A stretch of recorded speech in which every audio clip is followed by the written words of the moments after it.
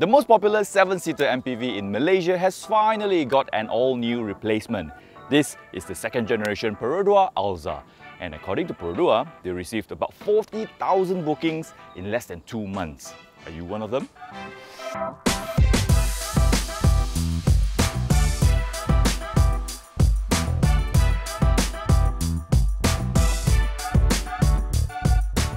Believe it or not, the outgoing Perodua Alza has been around for 13 years with about 400,000 units sold since its introduction in 2009.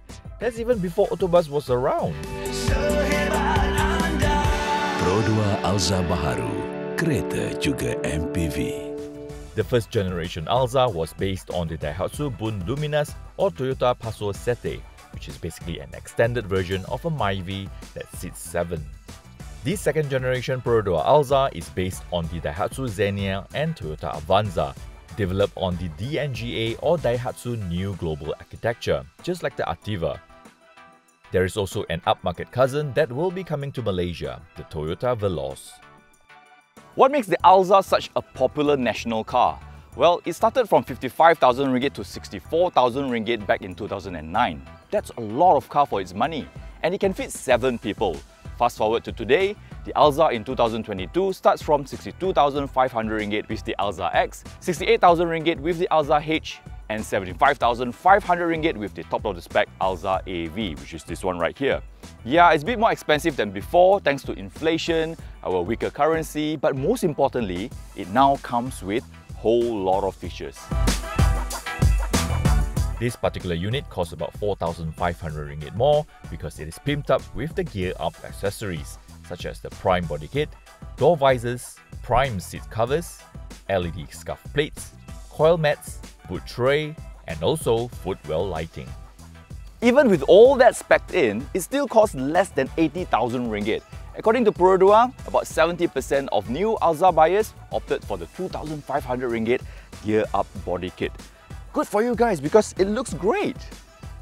So what is it up against? There is the Mitsubishi Xpander, Honda BRV, Proton Exora, Toyota Rush, and also its very own Perodua Aruz, all well below 100,000 ringgit. The second generation Perodua Alza does look grander and larger than before. That's because it is. It is now 205mm longer, 35mm wider, and 50mm taller. The wheelbase, however, is unchanged at 2750mm. Most of the new Alza buyers went straight for the top of the range Alza AV. So today we will be focusing only on the popular variant and we're going to find out why this is such a hottie. I do have to say it does look quite good and even though it is not very big, it has got presence with the lines all around, creases and also the angular design together with the body kit, it does look very handsome. I do like the new grille design with the chrome strip that runs across it. The headlights are LED and these DRLs are also turn indicators which are sequential just like the Ativa.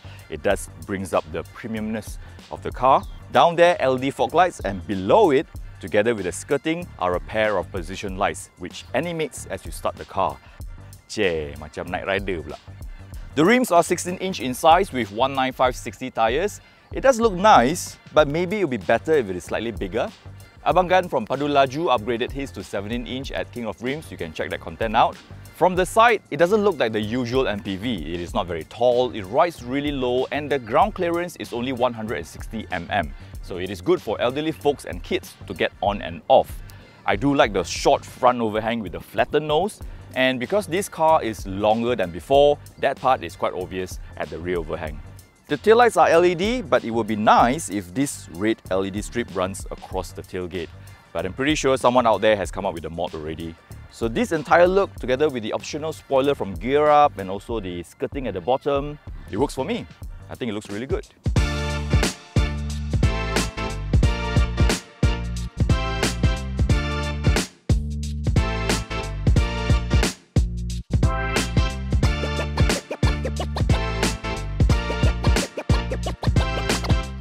The cabin gives a very good first impression once you get in here. That's before you start to explore more. It is roomy and you are greeted by things you only see in premium cars. Nice steering wheel, digital cluster, sharp and big head unit, all to distract you in a good way from the hard plastics around you. Like literally everything else around you. Well, except for the roof liner and also the seats. Uh. The seats come with the gear up seat covers, by the way. Looks very nice. Everything else, here, here, here, here, here, here, here, here, here, hard plastics. But then again, take a while to stop and remind yourself that this is essentially a budget car. You need to pay attention to those things that distracted you from the start. For example, the steering wheel.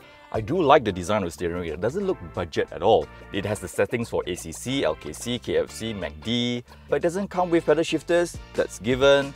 One thing though, it still doesn't come with telescopic steering adjustment, so you can only go up or down. But actually, it's never an issue for me, you see. Maybe because I have got a perfect arm-leg body ratio, I never had to do all that. I don't know, I'm just too perfect, I guess. Now, the middle cluster is digital. It came from the Ativa. There are two displays on the right, only the speedometer, which is font 200, very big. On the left is where you get to choose different designs and also all the settings and informations are all there. Now, the highlight in this cabin has to be this thing right here. This head unit houses two of Perodua's first. One of it is surround view monitor. So your car has four cameras all around and you still get to choose what view you want. Now the second thing is Android Auto and Apple CarPlay. When the car was first launched, Apple CarPlay wasn't available, but now it is official. It is now available in the car. The original interface for the head unit, there's nothing much to play with, not very fancy, but with your iPhone connected to this, you'll be a very happy owner. So moving along, as you move away from all the fancy stuff, it gets a bit sadder. The climate control setting is from the Ativa, that's fine. It is on this huge black gloss panel, which has got nothing else on it other than your engine start-stop button. Also, one of Perodua's first as well is the electronic parking brake. You get to lock and unlock the doors here as well, the central locking, moving along, armrest with a very small space inside. Speaking of space, I will talk about the storage later on. Now let's go check out the back. It is actually quite roomy back here and one thing I do realize the seat is actually positioned higher than the seats in front so you get a very nice view all around. The plastic panels continues back here for the entire door panel but I do like it that they have a cup holder right here and also at the bottom for your bottles. The seat covers come with three slots on each side, so you got plenty of space for your gadgets and magazines. A decent cup holder in the middle, two USB charging ports. The seats are actually pretty decent. The headrest is actually pretty nice, and you can even slide it front or back, like that. So if you have stuff at the back or you have passengers at the back, you can adjust it for them, or else you do have the entire space for yourself. Now, if you don't have a passenger in the middle, you can actually have your private armrest. Ah, it's large and comfortable. I do like this idea because it makes it area for the passengers at the back. Speaking of area, you do get two large blowers on the roof. So this part in the middle sucks in air and it blows out here with cooling coil inside. So the air is actually cold, so that's a nice touch. And if you don't have any passengers behind you, you can also do this. eh, tetongge. Ah, it's okay, it's nice.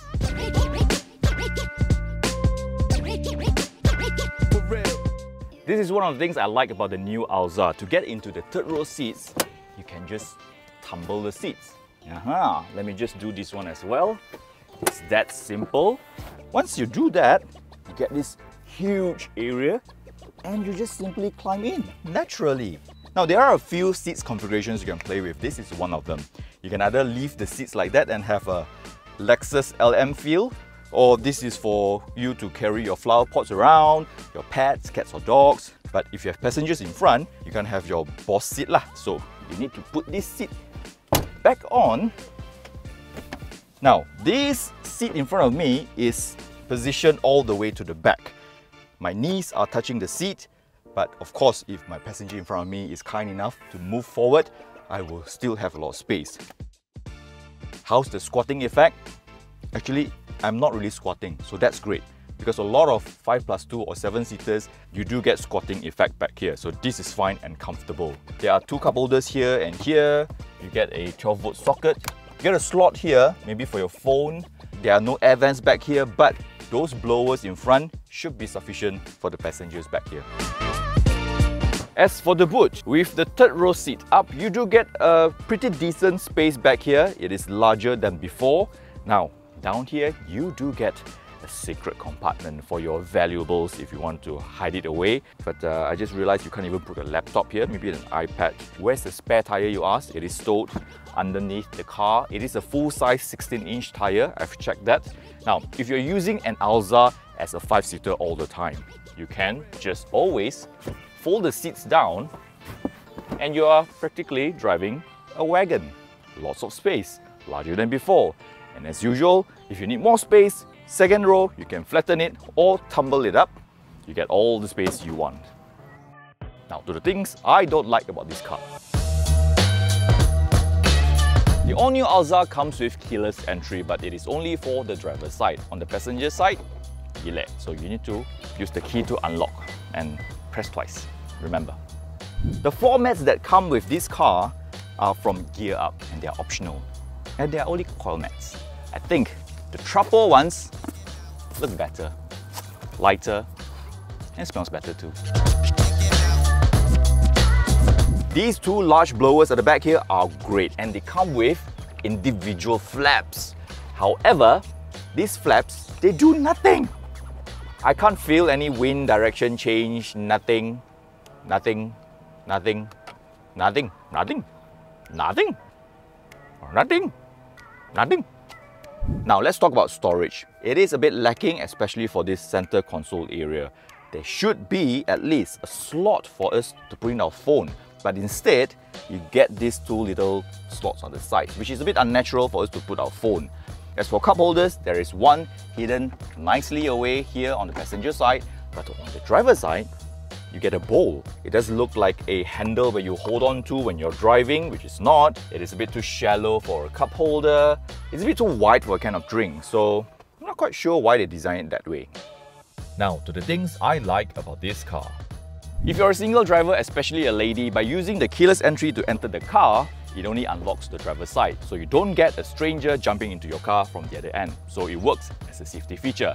But if it is a friend, just press unlock twice on the key fob. If it is an angry spouse, double click faster or else.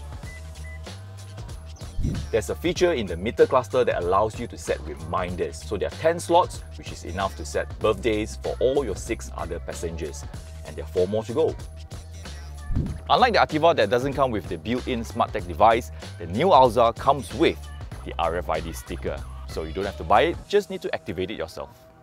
Now I know what I can do with this. You can grow a plant in it.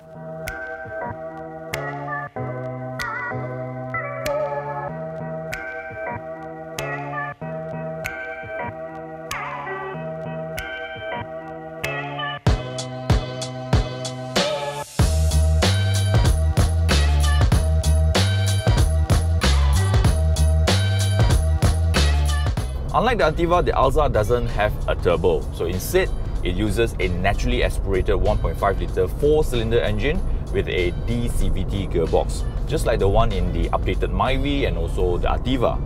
It makes 105 horsepower and 138 Newton meters of torque. What's impressive is with only 1 litre of fuel, you can travel up to 22 kilometers. So at today's rate of RON 95 at 2 ringgit and 5 cents, it only costs you about 32 ringgit to drive into Singapore from KL. And if you were to divide it with 7 people in the car, that's only about 4 ringgit and 50 cents. It's so cheap.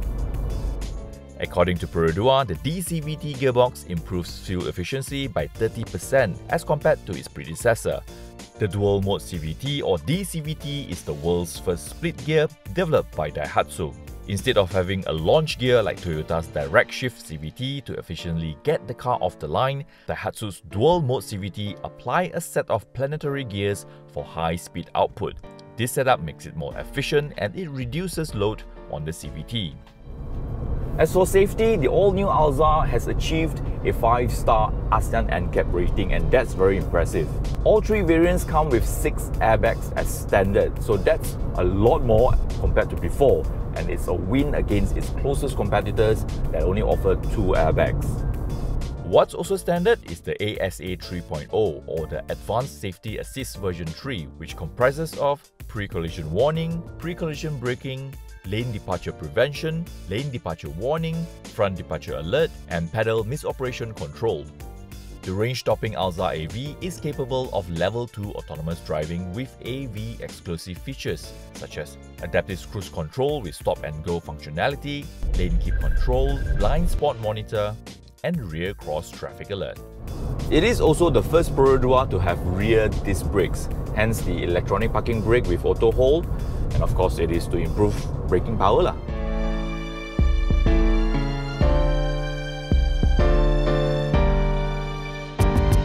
So, how does it drive? The all-new Alza is built on the DNGA platform, so it is a huge improvement as compared to before. It feels a lot tighter, a lot more composed, like it's very well put together. It rides very well, it's very smooth, and it absorbs bumps and potholes very confidently. The steering is nicely weighted, it is nice to hold as well. Now, is the 1.5 litre engine without a turbo enough? Around town, it is just right. In fact, it feels very nippy at slow speed and it is effortless. When on highway, normal cruising speed is very pleasant. But when you're about to overtake, that's when you go, ah, it would be nice if I have more power. It is not the quickest car to react when you want to overtake, and when you're actually doing it, you can actually hear it struggle. There are three driving modes that you can choose from the steering wheel. There's normal, power, and eco. It is much better on power mode to carry out an overtake. The car becomes more responsive to your input, and perhaps it will be helpful too when you are carrying full load with 7 in a car. How's the handling? Well, it is not a toge car lah, that I can say. So, janganlah bawa pergi toge eh.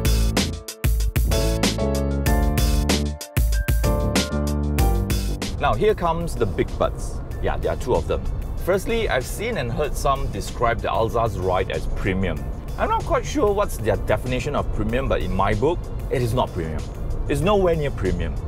Yes, it is pleasant to drive, it rides fairly well, but you still feel a sense of hollowness as you're driving it. You hear and feel whatever that's going on underneath the car. So that's not a premium feel. But then again, stop and remind yourself at this price, this is a very good package. The car is very well put together. Now, the second big but, which is the adaptive cruise control and lane keep control, which seem to be not calibrated properly and it makes the autonomous driving experience not very pleasant. So the lane keep control doesn't keep you center in the lane. You get ping pong between the lines. As for the ACC, the car will brake and slow down for no apparent reason, especially when you're taking a bend and the meter cluster shows that there's a car in front of me. But in actual fact, there's no car in front of me in my lane. No, nothing paranormal, but it's just that the car picks up another car from the other lane.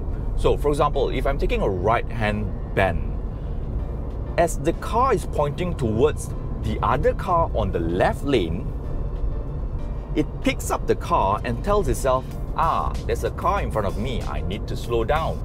I'm following the car.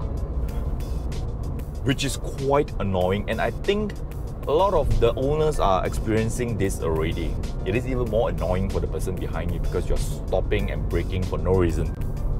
But hey, the ACC with stop and go is a treat, especially when you're in a traffic jam. It takes all the stress away from you.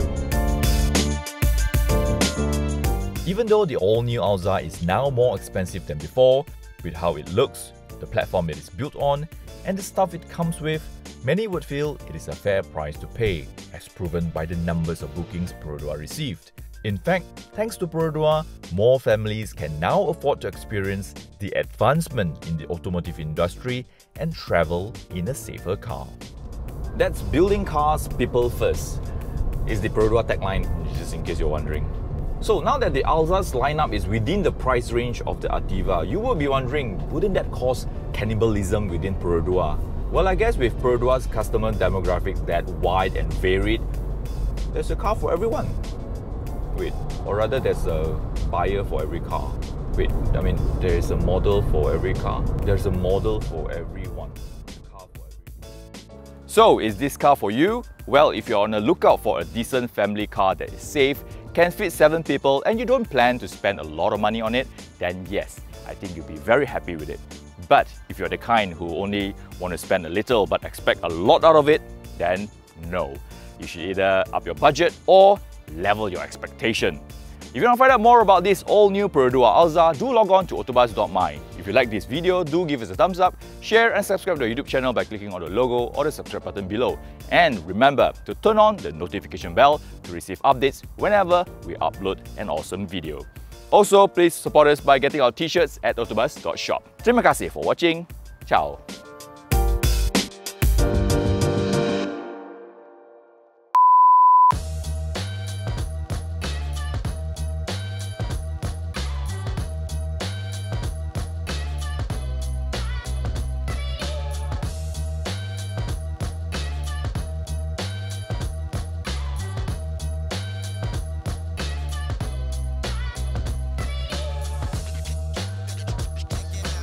Yikes.